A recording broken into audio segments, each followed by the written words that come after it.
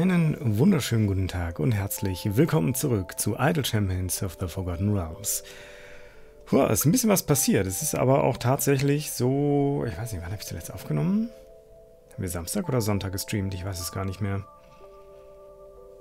Also es ist halt locker vier, fünf Tage her, dass ich aufgenommen habe. Ähm, und ja, ja, ich habe dann irgendwie plötzlich doch ein bisschen mehr auf die Reihe gekriegt, als ich dachte, weil ich irgendwie festgestellt habe, dass ich in der zweiten und dritten Kampagne plötzlich mit den neuen Champions doch eine Idee weitergehen kann. Von daher, wir passen die Stats gleich an, aber ich gehe vielleicht erstmal grob so ein klein bisschen durch, was ich gemacht habe. Äh, abgesehen davon konnte ich, ich habe ja die letzten zwei, drei Folgen schon so ein bisschen hin und her überlegt, ich konnte nicht widerstehen und habe mir das Founders Pack 3 gekauft, ähm, was halt hauptsächlich den Familiar beinhaltet. Einen Gem Boost, das ist halt so, yay, irgendwie Bosse droppen 50% mehr Gems. Das ist halt so, mm, ja, nice to have, aber mein Großteil an Gems kommt halt eh über die einzelnen Adventures, beziehungsweise über die heißt es denn jetzt, über die Variants. Und von daher war das so, meh. Skin für Jalaxel ist mir jetzt auch relativ wurscht. Was ganz nice war, war 42 Goldkisten und 5 garantierte Shinies. Äh, was nicht so nice war, ist, dass zwei von den 5 Shinies auf die Liner geploppt sind. Das war so, wow, danke für nichts. Ähm, ja, ansonsten hat sie jetzt sogar drei Shinies insgesamt. Sie hatte vorher, glaube ich, auch nur eins und irgendwo ist noch eins hin. Ich glaube auf Jamila oder so. Also die Shinies haben sich alle sehr ne, verteilt. Wobei ist das auf Hitch neu? Ich habe ehrlich gesagt keine Ahnung, welche neu dazugekommen sind, aber es, ähm, ja, alles nichts super Dolles, weil selbst wenn es bei Hitch neu wäre, ist es halt für die Ulti. Yay. Aber okay. Ja, ansonsten, äh, Oberland, da wollte ich gar nicht hin. Ich wollte das nur ausklappen. Favormäßig haben wir auf jeden Fall einen kleinen Sprung gemacht bei Callum Wars auf E17 und bei Helms auf E14. Da geht auf jeden Fall ein bisschen was. Und äh, ich mache jetzt gerade nochmal irgendwie Donor Freeplay äh, oder Donar, wie auch immer, weil der hat echt noch Crap Gear. Also der hat wirklich noch zwei Commons. Das wird später ein Schwert, oder? Ach nee.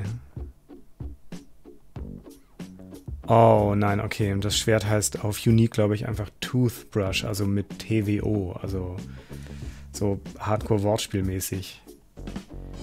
Ähm, Im Vergleich zu der Toothbrush, okay. Ja, was auch immer. Ähm, der braucht auf jeden Fall noch ein bisschen besseres Gear, deswegen habe ich gedacht, mache ich da eben die Event-Freeplays für ihn mal. Zumindest so bis die 2500 Tokens kosten. Ähm, ansonsten falscher. Ansonsten sieht sie tatsächlich ganz gut aus äh, mit zwei epischen Items. Das ist okay, da ist auch das Wichtige, äh, wobei. Ähm, das wäre noch nice auf, auf episch, aber ähm, ja, sei es drum. Und äh, letzten Knispel können wir uns gerade noch nicht angucken, oder? Avron, nee, kommen wir so schnell nicht hin. Der hat auf jeden Fall noch ein Ankommen-Item und genau das ist das Wichtigste. Deswegen würde ich da eigentlich ganz gerne auch noch Freeplays machen, aber mal gucken. Und da habe ich schon eine Menge Freeplays gemacht. Aber ähm, nun ja. Ähm, Campaign Map, gucken wir mal. Äh, ich mache hier mal den Haken raus. Dann sehen wir irgendwie eine Idee mehr. Oh Gott, was habe ich denn hier wohl gemacht? Ich habe keine Ahnung, ehrlich gesagt. Hier glaube ich gar nichts weiter. Das habe ich, meine ich, gemacht. Upholding the Law. Irgendwie abgehakt. Ähm, ich weiß nicht, ob wir Lobster Folk Assault letztes Mal schon hatten. Also hier habe ich auch gar nicht so viele neue Variants gemacht. Never Split the Party habe ich fertig. Ähm, den Soulmonger habe ich fertig. Ansonsten habe ich hier hauptsächlich Freeplays gemacht. Äh, hier ist ein bisschen was passiert. Äh, hier oben sind wir auf jeden Fall fertig. Our Time to Shine habe ich gemacht. Und dann die beiden habe ich gestern fertig gemacht. Das lief ganz gut. Ich habe halt so festgestellt, so, hm, ich komme im Freeplay so bis 340 ungefähr. Ja gut, äh, 225 musste ich tatsächlich buffen mit der Auswahl an Champions, die ich hatte. Das war super easy. Ich denke mal, das kann ich auch easy angehen noch, aber ich wollte dann erstmal irgendwie... Also ich könnte hier locker noch mehr Variants machen im Moment. Äh, also auch sowas. So, ja, okay, da sind dann halt irgendwie zwei Goblins in der Formation, aber bis 200 kommen wir halt trotzdem. Äh, das ist halt nicht so das Ding. Ähm, also hier würde auf jeden Fall noch ein bisschen was gehen in der Kampagne. Äh, Vault of Dragons habe ich gemacht, Champions of Waterdeep und wir haben dann tatsächlich das Ulcuria Ding jetzt freigeschaltet. Ähm, da kommen dann wahrscheinlich noch zwei Variants drunter, bis wir sie freischalten. Das würde noch ein bisschen dauern. Also 225 Je nachdem, was für Bossgegner auf den 50er Areas sind, sollte eigentlich easy machbar sein, aber gucken wir mal. Äh, und ansonsten habe ich... Oh Gott, das ist hier noch, ne? Zumindest das erste Variant von Dragonbait gemacht. Ans zweite habe ich mich noch nicht rangetraut, weil ich komme im normalen Freeplay halt etwas über 400, nicht viel. Ähm, und wenn uns da noch ein Slot fehlt, abgesehen davon habe ich keine Ahnung, was dieser ganze Valindra-Kram ist. Und ich bin mir nicht sicher, ob das letztendlich ein Buff oder ein Debuff ist. Da muss ich nochmal reingucken. Aber. Also. Und ja, Dragonbait bufft auch. Also ich könnte es probieren, aber es hm, wird wahrscheinlich knackig. Also meine Überlegung war dann einfach, dass wir in Waterdeep erstmal Hard Favor farmen und uns das Blessing mitnehmen. Das wäre eigentlich so mein nächstes Ziel, bevor wir Dragonbait holen.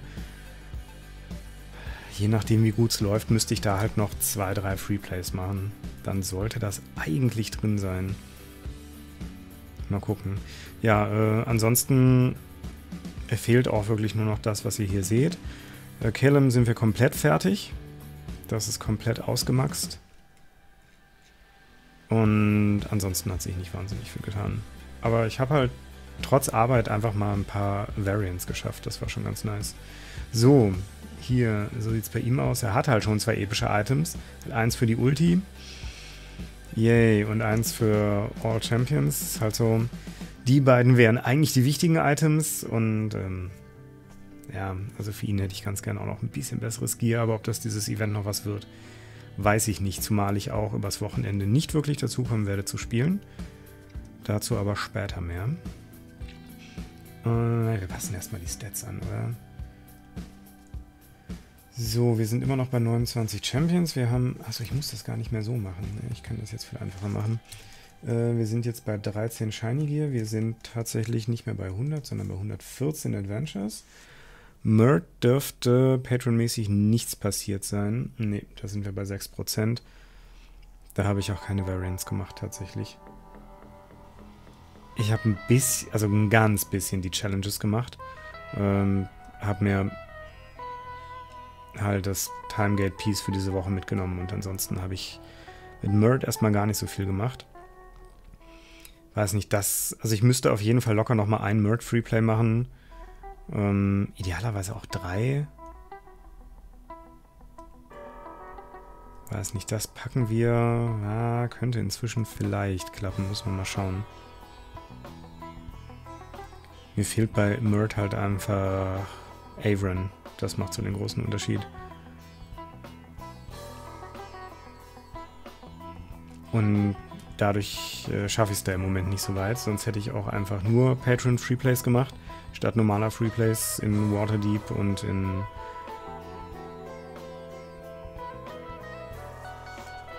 Wie heißt es? Tomb of Annihilation? Ja. Jetzt hätte ich da halt tatsächlich eher die, die Patron-Freeplays gemacht, aber ja, bringt halt im Moment nicht so viel. Dann war das zum Favor Farm einfach nicht so der Hit. Äh, so, ansonsten HZE ist auf jeden Fall über 400. Ähm, wir sind bei... Echt, habe ich nur fünf weitere Achievements geholt? Okay. Oder ich habe das zwischendurch nochmal geupdatet, weiß ich nicht. So, wir sind bei 435 als heißt Area. Das ist doch ganz okay. So, Evergreens machen wir gleich. Fehlende Apex muss ich dann gucken. So, wir sind, wir waren ursprünglich bei 10, 14, 10, 9, 6. Wir sind jetzt bei 10, 17. 14, 9, 6. 10, 17, 14, 9, 6. War gerade so, so ein bisschen verwirrt, weil hier einfach das Event-Favor noch mit zwischenhängt und das war gerade so, wait, what? Aber okay, das passt soweit alles. Oh Gott, nicht der Masked Man.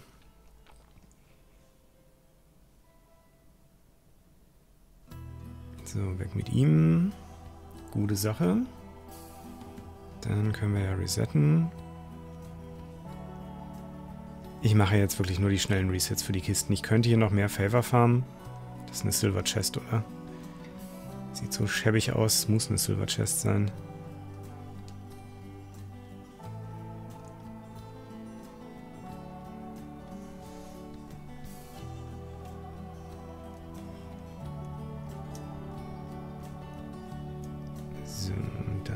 erstmal wieder. Und dann muss ich gleich noch fehlende Epics zählen. Ist total eine Silver Chest. Aber gut, dadurch, dass er noch zwei, zwei Common Items hat, hat er jetzt zumindest nur noch ein Common Item. Ähm, und drei ankommen. Oh Gott, das Gear ist so crappy, ne? Das ist unglaublich. Aber okay. Sei es drum.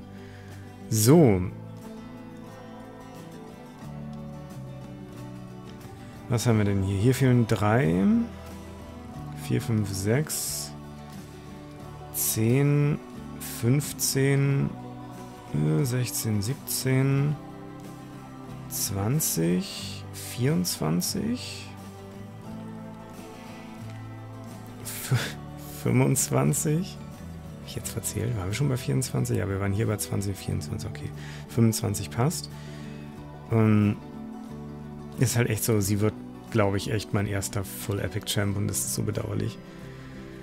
27, 31, 36, 38, 40, 41, 46. Okay, da hat sich tatsächlich gar nicht so viel getan. Ach Gott, bin so verpeilt, ne? Ähm, ich wollte das Fenster gerade in meinem Preview-Screen schließen.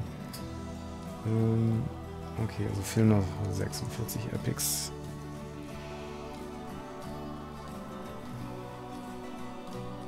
Nun ja, gucken wir mal, was das so gibt. Ja, es wird auf jeden Fall langsam.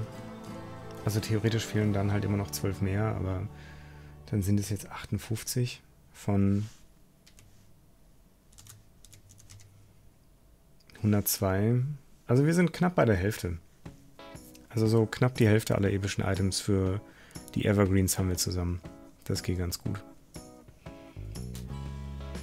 Juh. Ansonsten Muss ich mal schauen. Eigentlich müsste ich heute noch streamen. Also ich werde heute auch noch streamen, aber ich weiß noch nicht was. Wahrscheinlich im Zweifelsfall auch noch eine Runde Idle Champs. Weil ich werde am Wochenende jetzt tatsächlich äh, nicht wirklich zum Aufnehmen oder Streamen kommen.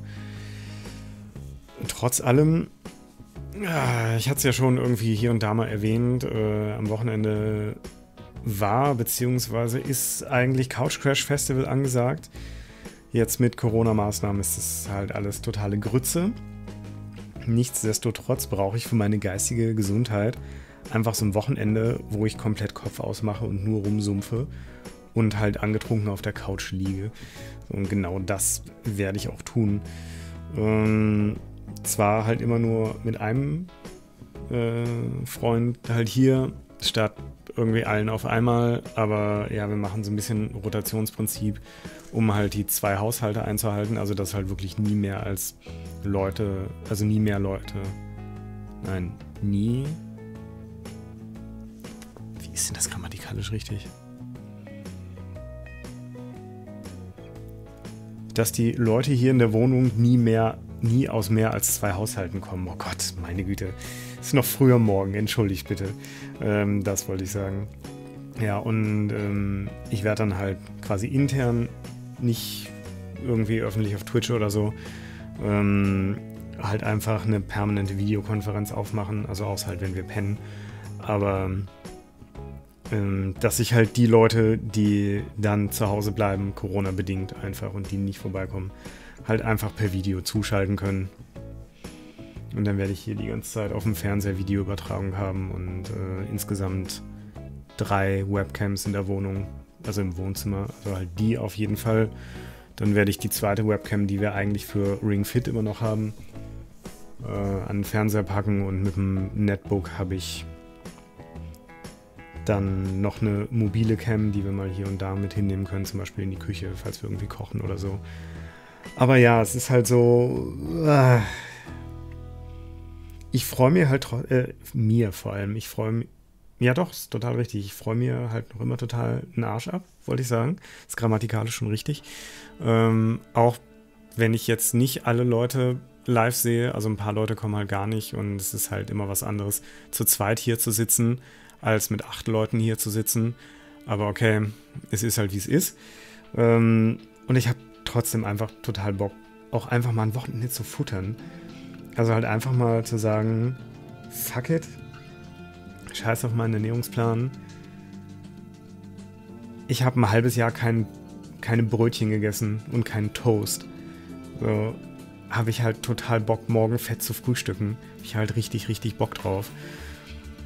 Und halt, boah, habe ich Bock mal wieder einen Schokoriegel zu essen. Auch das habe ich halt über ein halbes Jahr nicht gemacht. Und einfach solche Sachen und da am Wochenende einfach mal zu sagen, so, fuck that. Und wenn ich mir am Tag 5000 Kilokalorien reinziehe, drauf geschissen. So, geht halt mal klar. Ähm, von daher einfach für irgendwie geistige Entspannung werde ich das Wochenende auf jeden Fall brauchen und trotz allem, glaube ich, total genießen. Ähm, ich kann gleich mal rauszoomen, dann sieht man hier vielleicht den Pavillon auch schon ein klein bisschen. Ich habe natürlich auch wieder Pavillon im Wohnzimmer aufgebaut. Ähm, ja, aber das ist halt so der Grund, warum ich am Wochenende halt nicht streamen werde. Hatte ich, glaube ich, letzte Folge auch irgendwie schon mit erwähnt. Ähm, lasst mich mal ganz kurz die Webcam ein bisschen umstellen. Dann, oh Gott, wo ist denn hier der Zoom? Hier. So, ich habe halt Pavillon aufgebaut und ja, man sieht, es ist zu hell einfach. Man wird es jetzt nicht erkennen, aber. Ah doch, man erkennt es ein bisschen. Äh, ich habe halt ein Lichternetz und ein Tarnnetz unter dem Pavillon gepackt und ich feiere das ein klein bisschen ab. Das wird so chillig. Wenn es halt draußen dunkel ist und das so die einzige Beleuchtung im Raum ist, es wird so super. Hab ich so Bock drauf. Das wird richtig, richtig chillig.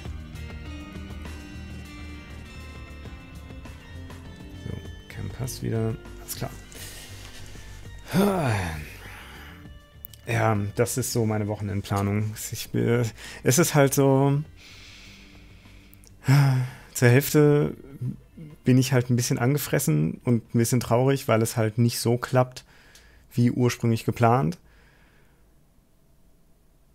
Und zur anderen Hälfte bin ich aber total happy, dass es trotzdem irgendwie geht. Und ich halt einfach das, das Wochenende zum, zum Runterkommen habe. Das brauche ich auch einfach. Weil es wird auch legit das letzte Mal dieses Jahr sein, dass irgendwie sowas passiert. Also ich meine, so die landesweiten Regularien mit irgendwie Kinos und so machen alle wieder zu, greifen zwar erst ab kommenden Montag, aber ähm, ja gut, die ganzen Beschränkungen mit Haushalten und so läuft ja jetzt schon. Also je nach Stadt bzw. Landkreis. Also hier läuft sie ja auf jeden Fall jetzt schon. Äh, seit vorgestern, glaube ich. Seit gestern? Ne, seit gestern haben wir den entsprechenden Inzidenzwert überschritten. Ich muss mal gucken, wo wir jetzt sind. Wir waren gestern irgendwie so bei 53, sind jetzt wahrscheinlich locker bei 60 oder so. Oh ne, 57. Gar nicht so extrem gestiegen.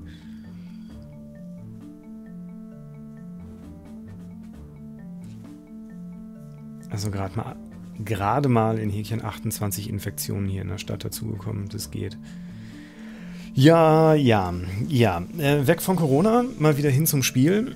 Ähm, was ich noch so machen werde, also meine, meine nächsten Planungen. Ähm, ich werde halt echt noch mal gucken, dass ich das letzte Global Blessing in der Kampagne irgendwie freischalte, das wäre mir schon irgendwie, weiß nicht, ein innerer Reichsparteitag. irgendwie so. Ähm, also das fände ich halt schon ganz gut, glaube ich. Ähm, dann werde ich Dragonbait mal recruiten. Oder es zumindest versuchen.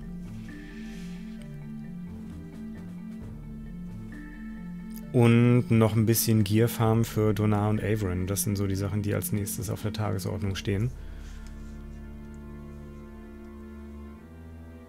Mal gucken. Ansonsten dann weitere Variants in. Ich will immer Helms Deep sagen, weil es halt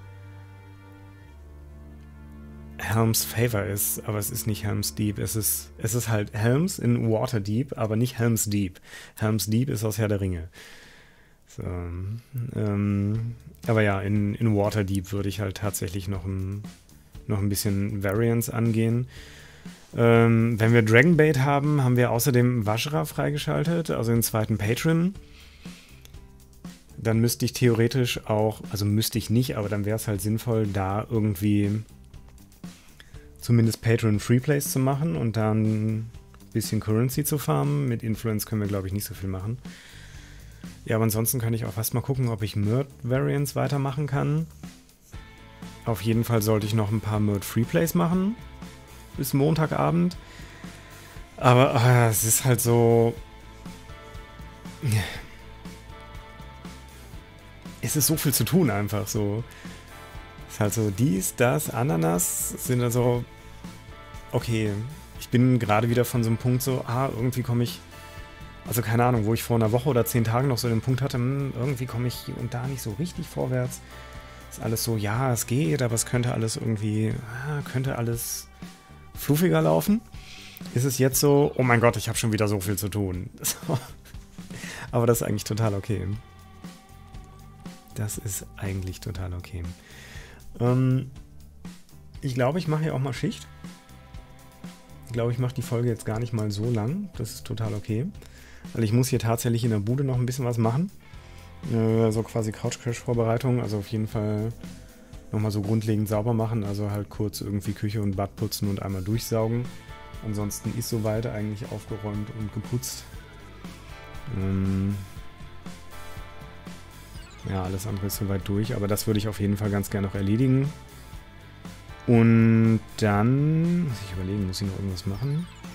Muss noch eine Handvoll Sachen, die ich vergessen habe, vom Supermarkt holen. Aber ansonsten bin ich dann auch mit Vorbereitungen durch. Das heißt, ich kann heute Nachmittag auf jeden Fall irgendwann streamen. Fragt mich nicht wann genau. Ähm, irgendwann im Laufe des Nachmittags. Kann früher Nachmittag sein, kann später Nachmittag sein, irgendwie so.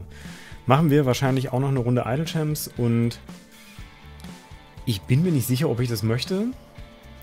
Aber ganz vielleicht fangen wir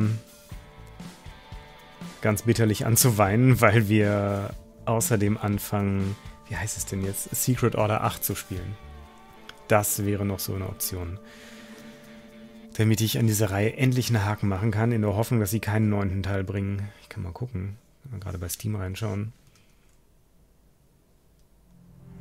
The Secret Order. Nee, sieht nicht so aus.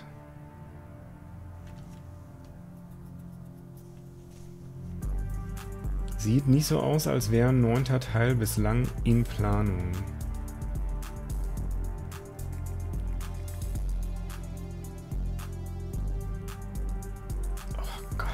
Es gibt von dem gleichen Studio Moment, jetzt muss ich mal gucken, ob es gleiches Studio ist oder nur gleicher Publisher. Nein, tatsächlich beides. Also gleiches Studio und gleicher Publisher. Also Sunward Games und Artifacts Mundi. Gibt es halt noch eine Wimmelbild-Reihe, die jetzt auch schon mindestens vier Teile hat. Nämlich Endless Fables. Ich weiß nicht, ob ich mich da noch ansetzen möchte. Ähm, wird wahrscheinlich auch über kurz oder lang kommen. Aber bevor wir Endless Fables anfangen, würde ich also wir müssen auf jeden Fall Secret Order 8 abschließen und dann habe ich auf der Wimmelbild To-Do-List definitiv noch ähm, den ersten Teil von Dark Parables, also was so diese ganzen Märchen, also die ganzen klassischen Märchen, so, so einen Hauch ins Düstere zieht, glaube ich. Deswegen halt Dark Parables. Äh, und das in Wimmelbildspiele verpackt und die sollen angeblich gut sein. Ich habe da so meine vermutlich berechtigten Zweifel. Schon allein, weil der Publisher Big Fish Games ist und Big Fish Games ist einfach so.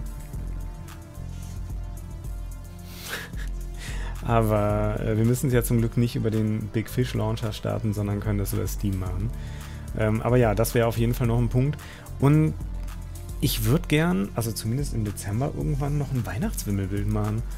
Ich muss mal gucken, wenn, ich glaube, startet heute der Halloween Sale? Ich meine, ne? Eigentlich müsste heute Halloween Sale starten. Ja, mal gucken. Also ich habe da irgendwie so zwei, drei Sachen, zwei Sachen, glaube ich, auf der Wishlist. Ähm, die sind mir aber prinzipiell zu teuer. Ähm,